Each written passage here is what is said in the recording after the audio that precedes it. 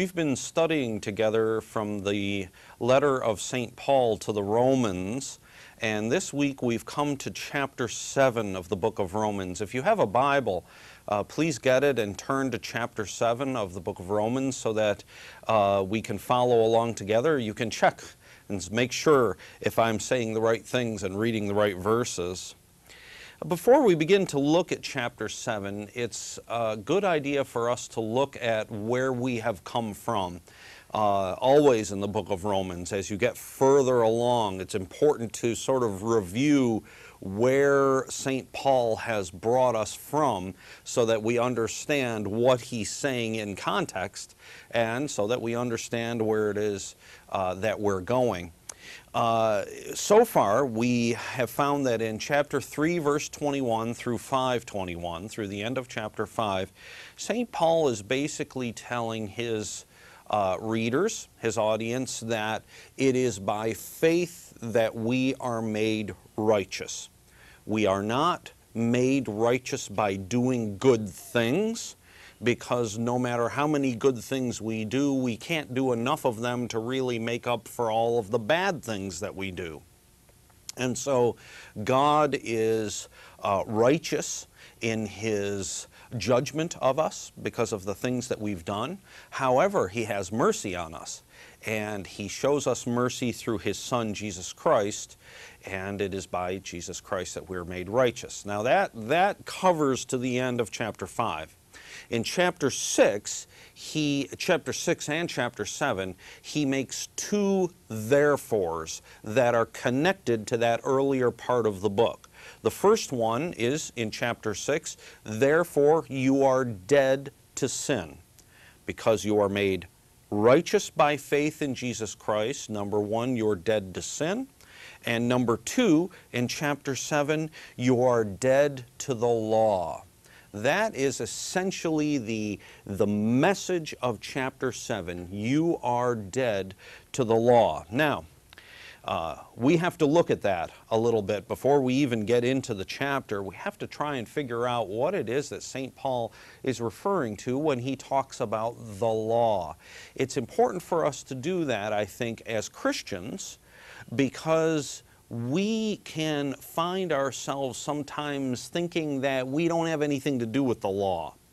And in fact, really when St. Paul talks about the law, most often he's talking about the Mosaic law. The law that was given in the Ten Commandments and developed from there that we have written in the first uh, five books of the Bible. This is the Mosaic law, the law given by Moses. And in parts of uh, St. Paul's writings, he will refer to the law and he refers to the law in that particular meaning. Now, what does that law do? What do the Ten Commandments do, and what, what does the Levitical Code do for us, and so on and so forth? Well, basically, it tells us what to do and what not to do what to do in order to obey God, in order to please God, in order to do what's right, and what not to do in order to avoid displeasing God, in order to avoid not obeying God, in order to avoid sin. That's the essence of the Mosaic Law. Now I would like to turn to another book, uh, the book of Galatians which is just after 1st and 2nd Corinthians, if, you're, uh, if you have your Bible with you. I'm looking at chapter 3, verse 19. Galatians 3.19.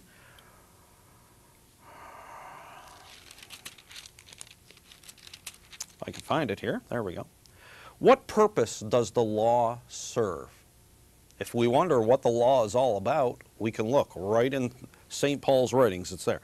It was added because of transgressions, till the seed should come to whom the promise was made. That's Jesus Christ, right?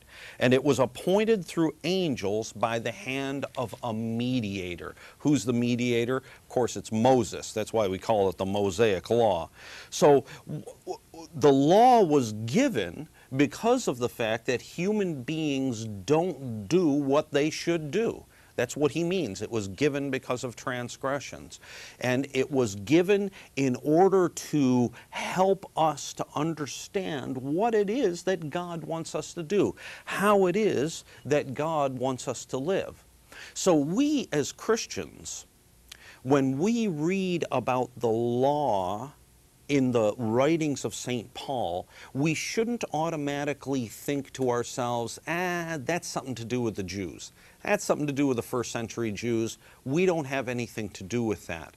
Because St. Paul himself, not only did Jesus say, uh, not one iota shall pass from the law until all is fulfilled, but also St. Paul says in chapter 7, I'm back in Romans, uh, chapter 7, verse 12, Therefore, the law is holy, and the commandment is holy and just and good. So when St. Paul talks about the law, he is talking about the Mosaic Code, but he's talking about something that he regards very highly. The law is holy and just and good. Now, when we talk about the law in this way, the Mosaic Code, that's something that's written down. That's something that you can go to your uh, local library. Well, I don't know if you can go to your local library anymore, but you can go someplace and find a book and take it out and you can read what is written in the Mosaic Law. But there's another version. There's another version of that law, and it is an unwritten version. I'm going to go back in chapter 2, chapter 2 of Romans, still in the book of Romans, but we're going back to chapter 2, verses 14 and 15.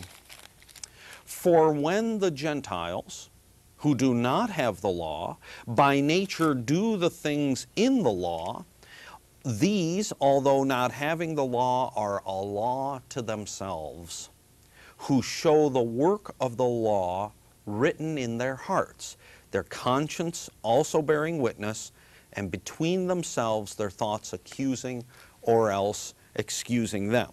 So there is a written law, that's the Mosaic Code, but there's also an unwritten law. Now, how, how are these interrelated? Well, what St. Paul is saying in chapter 2 is that uh, if you look at the Ten Commandments, the Ten Commandments say, for instance, do not kill. And yet, if you've never heard of the Ten Commandments, you know it's not right to kill. You know that it's a sin to kill. Uh, even though you may not understand the concept of sin, you still know that it's not right. This is uh, what we call the moral argument. Sometimes people refer to this as a moral argument for the existence of God. And, and uh, basically, that says that inside us we have a, a sense of something being right and other things being wrong. We can do something and we, we know that we feel good about that. We know that that is the right thing to do, say, providing for our families. And there are other things that we know are wrong and we know are contrary to uh, proper living, you know, something like killing or stealing. Now, these things, these uh, uh, uh, moral code, this moral code is, uh, is present in every single culture that has ever lived on earth. There's a moral code. And this moral code then, uh, it has to be given from somewhere. This is the moral idea, uh, moral argument for the existence of God. And this is what St. Paul is saying too, that even if you've never read the Ten Commandments, you know that stealing is wrong and you know that killing is wrong and so on. So, when he talks in Romans chapter 7 about freedom from the law, is he saying that we are in Jesus Christ free to do whatever we want. That that moral code that is inside us, that sense of right and wrong, that we no longer have to pay attention to that. You know, the funny thing is that there have been Christian communities in history who have believed that that was the case who have read this little part of Scripture and said, well, we're free from the moral code, and so therefore they would live in such a way as to essentially have no things that they do that were wrong. Course, none of those Christian communities exist today because what they thought was foolish. And it's uh, one more example of people taking a small part of Scripture and building an entire theology off of it. No, it is certainly not the case that we are to abandon the moral code. Obviously not. What it means that we are free from the law is that I no longer have to rely on my good behavior in order to win the favor of God. Without knowing about Jesus Christ, without knowing that God's mercy has been given to us in Him, we can feel like that's what we should do. I feel like there are things that I do that are right and things that I do that are wrong. And I might feel like, you know, if I do a lot of them right and a very few of them wrong, I'm going to make God feel good about me and love me and give me the things that I want. You know, many, many, many religions of the world have been based on this concept that if you do good and you avoid doing bad, you're going to win the favor of God or the gods or whatever force there is out there that, uh, that changes our lives and affects our lives. But look at chapter 7, verse 4. Therefore, my brethren, you also have become dead to the law through the body of Christ, that you may be married to another to him who was raised from the dead, that we should bear fruit for God.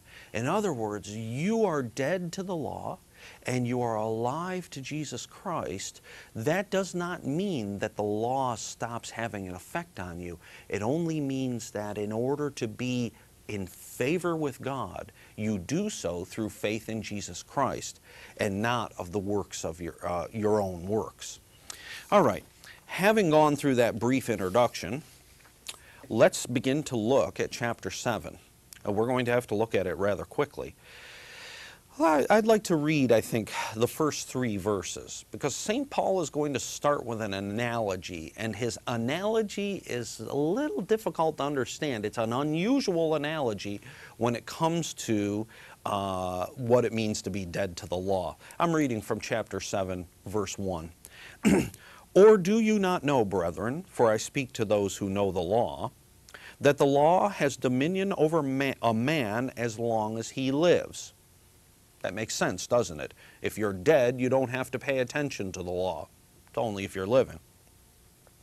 For the woman who has a husband is bound by the law to her husband as long as he lives. But if the husband dies, she is released from the law of her husband. So, in other words, if a woman is married, she uh, is bound to that person that she's married to, but if he dies, she's free. So then, if while her husband lives, she marries another man, she will be called an adulteress.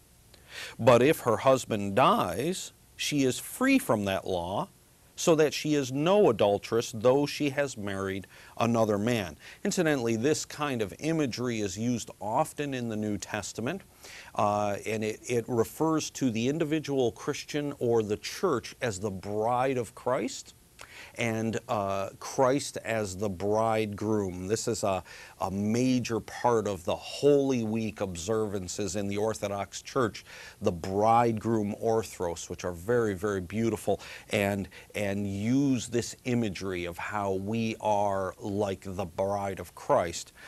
In this case, it's, it's uh, the, the woman who is married to a man uh, that, and that represents the law. And that marriage ends because the law dies, and she can link herself to another. Now, I wonder where he's going to go with this analogy. We understand that. He says that a woman is married, and when her husband dies, she's free and she can marry another. Where's St. Paul going to go with this analogy? Well, verses 4 through 6. Let's look at those. Therefore, my brethren, you also have become dead to the law through the body of Christ. I just read this verse actually. That you may be married to another, to him who was raised from the dead, that we should bear fruit for God. In other words, you were married to the law. You were under the authority of the law. But that authority has died, and now you are linked to another, and that is to Jesus Christ. For when we were in the flesh, the sinful passions which were aroused by the law were at work in our members to bear fruit to death. But now we have been delivered from the law, having died to what we were held by, so that we should serve in the newness of the Spirit and not in the oldness of the letter. So, the wife is bound to the husband the way you are bound to the law. And in, in this case, I'm going to use the law as the moral code. You are bound by that thing that is inside you that tells you that there are certain things you do good and certain things you do bad. Now, that husband dies. Now, when, when he says that, he really again doesn't say that the moral code dies within us, but we come to understand that the moral code is not salvific. By salvific, I mean that the moral code cannot save us, cannot be good enough to warrant God's love. We cannot do anything to stop our nature, our natural inclination towards sin. So the moral code is shown not to be able to save us. That's, I think, why in verses 4 through 6, St. Paul is really talking not necessarily about the old husband dying, but the wife dies to the old husband. What, she, what he's really saying is that you have come to understand that the moral code that is within you is not going to save you. What does that mean? Well, then the wife marries another. We are free to be united to Christ, and we are free to rely on God's mercy to save us and not on our own goodness. That's a difficult thing. That's a very difficult thing to do. If you've been going along under your own steam, if you've been praying all the time and giving alms and tithing and, and memorizing your Bible and trying to be good to people, you've been doing all of those things. For someone to come along and say to you, you know what, that's not going to save you. It's faith in Jesus Christ that's going to save you. Whew, that seems like, that seems a bit much. That seems seems uh, crazy because I want, I want to continue to get that feeling of having done enough to get God to love me. And this, this scripture is telling us no, we can't do that. We unite ourselves to Jesus Christ, and thereby we are saved. Well, I think for the rest of the ver- for the rest of the chapter, St. Paul really begins to answer the question in the minds of his, of his listeners, and we've talked about diatribe on other, uh, in other chapters, and we're going to be talking about it again. Diatribe is where St. Paul uh, anticipates a question that someone may ask him. They can't ask him. He's writing a letter, and he can't stop and wait or send the letter and wait for a question to come back or something like that.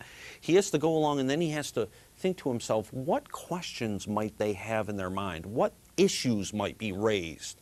And then he goes ahead and writes the question and answers it. He's almost doing their questioning for them. Verse 7 What shall we say then? Is the law sin?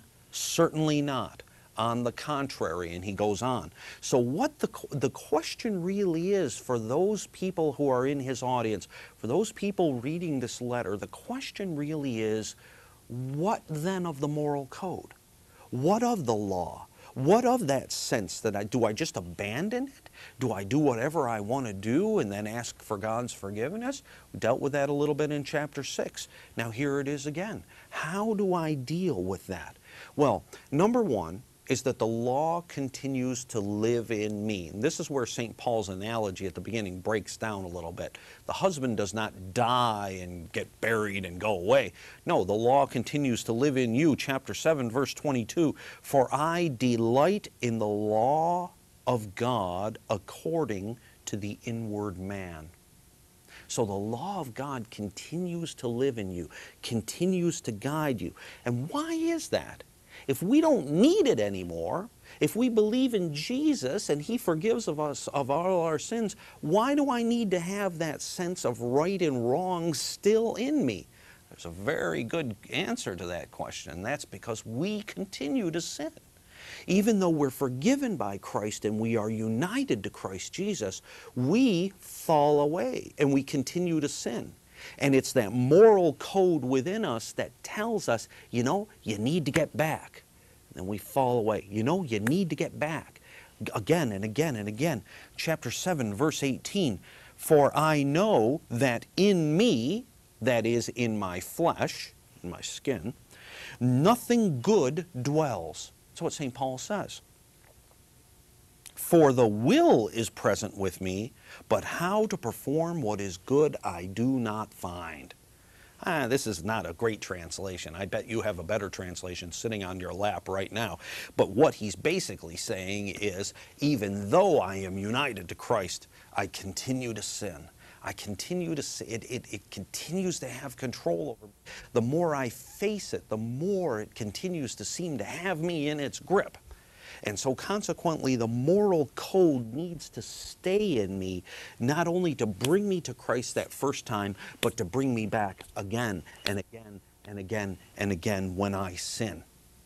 Now, that process, that process is a very frustrating process. To be united to Christ and then to fall away. Come back, fall away. Come back and fall away. Chapter 7, verse 24. Look at that. O wretched man that I am. St. Paul is expressing this frustration that he has, that he can't seem to get away from the law of sin that is in him. O wretched man that I am, who will deliver me from this body of death? St. Paul is talking about how, you know, it, it seems like when you're united to Christ, you feel like so wonderful, so free. You think, I'm never going to sin again.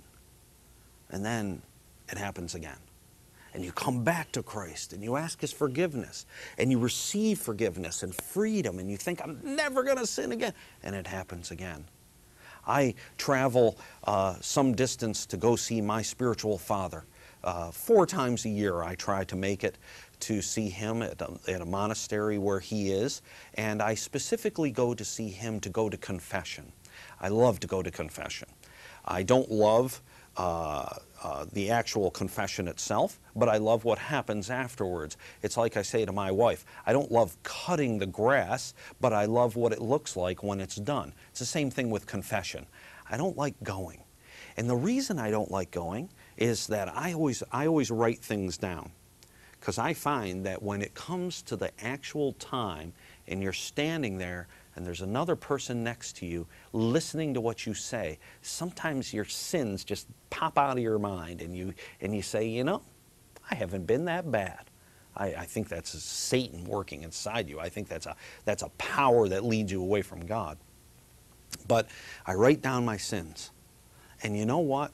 I go and I, and, and I talk to the priest. He gives me ideas. We talk together. We, we, we face sin together. We rejoice in God's forgiveness together. And then I go away and I come back a couple months later, three months later, or something like that. I've got the same sins written down. And I go away and I come back and I got the same ones. And I go away and I come back and I got the same ones. And you know, after a little while, it becomes extremely frustrating and you say to yourself, you know, I, I, keep facing this particular problem and it keeps getting the best of me, you know? And, and my spiritual father is a wonderful man. He is able to help me with this, with the frustration that I feel, the same thing that St. Paul is expressing here in chapter 7. Oh, wretched man that I am, who will deliver me from this body of death? Who is going to save me from this constant problem I have with sin? Well, well, uh, when we come back next week, we're going to be looking at chapter 8. Uh, St. Paul will give us the way that he has been satisfied in Jesus Christ. the way that his uh, inclination to sin is satisfied.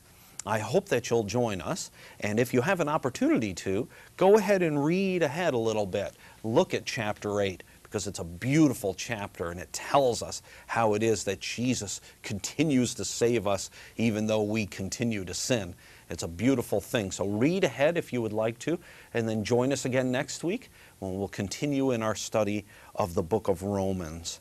And now, as St. Paul has said both to you and to me, grace to you and peace from God the Father and our Lord Jesus Christ.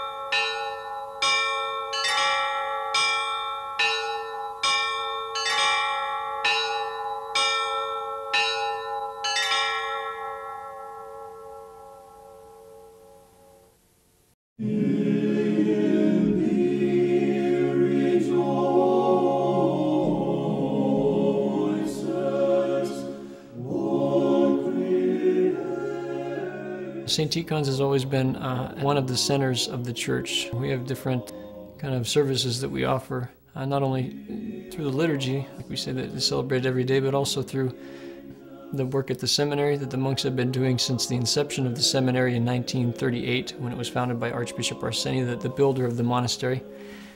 Also, the monks uh, also travel. Some of them do uh, give lectures and, and give retreats. Uh, for many years, I traveled with the mission choir, raising funds for the seminary.